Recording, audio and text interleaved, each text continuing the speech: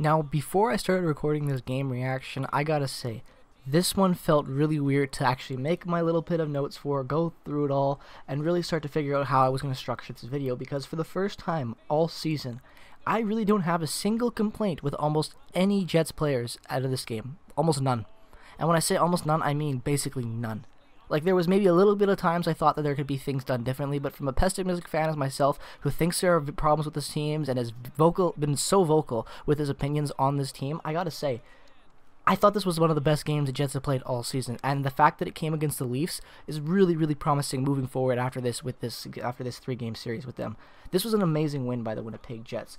They obviously came out and they beat the Toronto Maple Leafs by a score a 5-2 and it was a very very good game and especially for almost the entire game because starting off this game I thought the Jets were gonna, not going to have a good one. I'm going to be honest like the way this first game started with that hand pass goal I really thought it was going to be a bad one and not because I knew it was going to be a goal that would be counted. I knew immediately when I saw the first replay that it was going to be an obvious hand pass and it was going to call it back but just because it was such a random start to this game and I just have these feelings that when the Jets have really bad random starts to the game or a random event happens to the Jets it doesn't usually go well for them moving forward but after that, I got to admit, I really liked the way that both teams played in that first period and throughout this whole game. They really were able, for the most part, and the Leafs even for most of this game as well, uh, at the first and in the second. After that, it was not so much, but they were really good at holding the other teams to the boards and really pushing the pressure, putting the pressure on the open ice and forcing the game into the boards. That's the only time there's really any type of puck movement, and the few offensive opportunities that came up were mostly because of the fact that there was a play that was devolved off of the fact that there was all those play being drawn into the corners. They really did a good job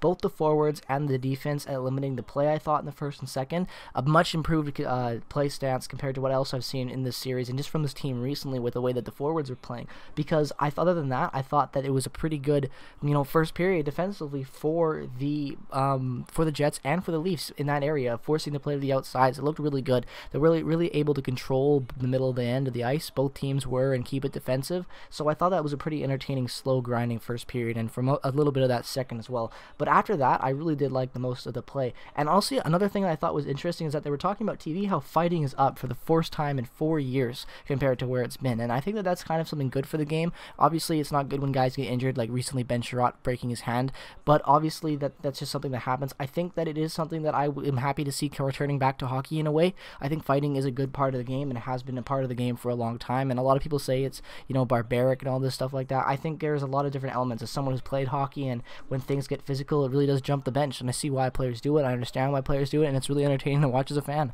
So I really do think that that's a little fun little stat that's uh, happening within the league this year, and I'm curious to see whether or not that stays the same when fan attendance comes back after we're done with all this COVID stuff that we're slowly getting to an end to anyway. But the only other complaint that I really have with this game, and not even a complaint, and like I said, I almost have no complaints with this team, but the only one little complaint I had was Mark Scheifele just has to play defense. It's getting embarrassing at points. There were times where he was just skating next to the, uh, the puck carrier, the Leaf puck carrier going through the neutral zone, and he could easily reach in and stick lift and easily make a play on the puck. But he refused to, and it was just really frustrating to watch because, like, I just don't understand why he's not getting his stick and jabbing it in there, trying to make a play. It's not a risk of tripping when it was as open and open, not as defended as it was at times. And I just want to see Mark Scheifele being more active with his stick in the neutral zone and playing more of a defense and being more on puck. I just feel like sometimes he's not, and this was a game where it really showed at times, in my opinion, where he was. He has still a great game. Nonetheless, I just didn't like really how he didn't play defensively. I just wanted to point that out because I've talked about the defense and the cohesiveness of the forwards and the defenders and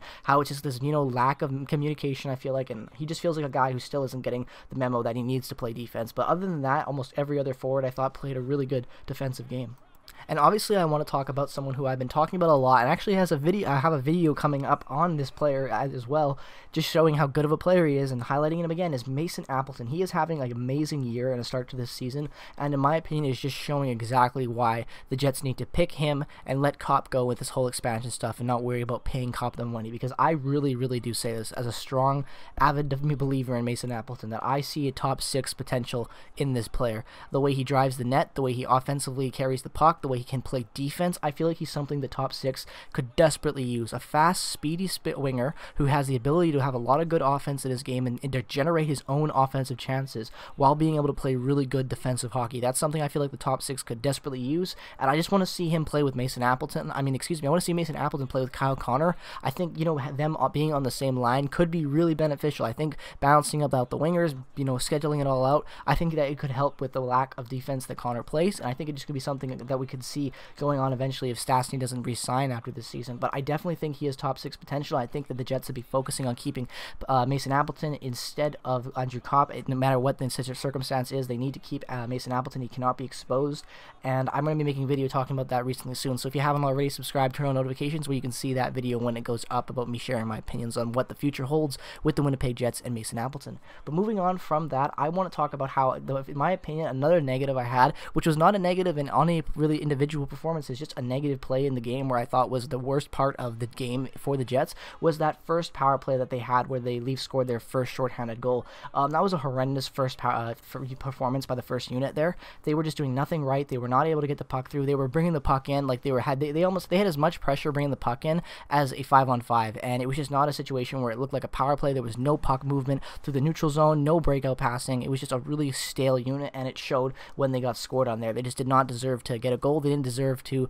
you know, in my opinion, I when I honestly said, you know, the Leafs are to deserve a goal when they broke out of that zone because they really did because the Jets were just playing horrible and horribly, and I just did not like that performance. Other than that, though, that was basically the only neg negative point I feel like for the entire game for a team as the whole as the, for the Jets. I really don't think after that there was any real one incident where you could look and be like, oh, you know, that was a horrible play because even on the next shorthanded goal, um, it was a really good next goal I should say. It was a really good play there at a fake out pass by uh, Nylander when he shoots that. So there's nothing really much you can say there. But Brossoit just got fooled, and that happens to players at any level in any sport. So I think that was the only real negative moment this club had in that game. And then moving on from that, I think that of uh, Neil Pionk is you know, he obviously made that pinch there, and that's why that goal could have, you know, went been prevented a little bit. But at the same time, it's you know, you give and get with a guy like Pionk, he's going to play that pinching role, so it's stuff that's going to happen, and you just you know sometimes can't make up for it. So I don't really have any problem with that because pinching is just part of Pionk's game, and unfortunately, sometimes at any point, no matter how good you are at pinching offensively as a defenseman, you can get burnt. Sometimes it happens to the best, and it happened to Pionk tonight.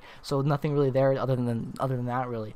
And honestly, other than that, I want to talk about my boy Logan Stanley coming back into the game because Nathan Beaulieu's out, his second game being back, and he registers his first career NHL assist on the Paul Stastny goal to tie it 2-2. So congratulations to him. I knew he was going to get it sooner or later. He's been very, very reliable in my opinion at times. Even though there's still holes in his game where he's developing it slowly, I do think he's much better than Nathan Beaulieu, and I think even how getting this point, and I hope that this keeps him in the lineup. I really do. You know, I don't know how exactly long Beaulieu's going to be out for. I would expect for at least a month with the way that they made it sound. So hopefully Stanley can really prove that he deserves this spot over Beaulieu in the coming month and put get on get some good points gathered to his name. So I just want to see him stick in the lineup. So really happy to see Stanley having a good success, and it just honestly is just more promise for this club's defensive core moving forward. If Logan Stanley can be that wild card prospect and develop into a top four guy for the Jets potentially, that could be huge for them having Ville Heinola, Dylan Samberg, and even Declan Chisholm coming up through the Moose right now. So that's going to be very interesting to see what happens with the prospect core as time develops throughout this club. But other than that, I want to think that the Jets, like I said, played a really, really good game. DeMelo and Morrissey getting reunited obviously was another good standout in my opinion because they haven't played a lot this season after being very successful last season, and it looked like honestly it really fixed Morrissey's game to a lot of sense. In my opinion, there were times where Morrissey looked like this was his best game of the season. Um, I really like Morrissey's play this year after he's he's obviously been not that amazing for the last two years, but I'm not on this trade Morrissey bandwagon. I think he's amazing. He's really important for this club, and I think that his contract is still going to be good value eventually, or at least be worth his value because I feel like he's just going through a problem right now playing with the roster personnel that he has. He needs more of a reliable player. Tucker Poolman ain't that reliable, and God, Nathan Beaulieu ain't reliable either. So I really think getting him with a more settled, composed defenseman, and I think DeMelo just played well with Morrissey as well. Kind of like what we saw when he played with Ville Heinola. Ville Heinola was very composed with the puck, and even for a rookie, he didn't play like one in that game, and he hasn't really played like one in a lot of times in the NHL. So I think when Morrissey plays with a more stable defender, a more you know balanced defender with like that two-way game, I feel like he plays better hockey. Look at how he was with Byfuglien. Look at how he was with Trouba. Look how he was with even anyone that the Jets have had in the past. When he's got a reliable two-way guy with with him that can play good defensive minutes and hang back through that neutral zone, he plays better hockey. He can make better zones. When Morrissey has to carry a top four, he's not good. And he's been having to carry a top four for the last two years. So when we get more help in, I believe Morrissey's game is going to stabilize. And I really do think that this was a showing tonight that his game can stabilize in the coming game of the season. I just think he needs to find that right partner again and really balance his game out. And that also leads me into saying that I think that Paul Maurice should experiment on playing Derek Forbort and Neil Pionk as a top defender, uh, top defensive pair, or play the second pairing and first pairing equally and stop putting all this pressure on Morrissey. Not because he can't handle it, but because I think it'd be good for Morrissey to not have to play such a massive increased role for the, the Jets blue line. I think if you device, diversify that amount of minutes and you let them play more of an equal type of balanced uh, combo there with those pairings, I think Morrissey and DeMelo's game could improve very, very much so compared to where it's been for this season. But other than that, I just I think the other big standout is Nikolaj Ehlers and that second power play staying hot. They were really good in this game on that goal that Ehlers scored. I just like that second unit better than that first power play. I just I keep pre preaching that, and I hope Maurice promotes some of those guys to that first pair, uh, first power play just because based off of what they've been able to produce, but I know that won't happen. But just me as a fan dreaming. But other than that, I just love Nikolaj Ehlers, man. You guys know how much I love this kid. He's such a good player, and I'm so glad he's on this club. He's just showing how he's one of the most underrated forwards in the league and one of the best wingers in the Canadian division. But other than that, I want to hear your guys' thoughts on this game. What were your thoughts about the Jets and this, their performance against the Leafs in tonight's 5-2 win? I want to hear all about it in the comments section below. As always, thank you guys so much for watching this video. If you're a fan of hockey, regardless of the team you root for, but if you're a fan of those Winnipeg Jets, definitely consider dropping a subscription and turning on notifications. I'm going to be having a bunch of videos coming out about these trade situations, the trade rumors involving Mattias Ekholm and other players that the Jets seem to be coming into interest in the nubbing weeks before the trade deadline. So if you're looking for trade deadline content for the Winnipeg Jets and for other teams in the Canadian Division, this is the place to be. Thank you so much for watching. Follow my Twitter link in the description if you haven't already. Peace, love, and positivity as always, ladies and gentlemen. I will see you guys in the next video. Go Jets, go.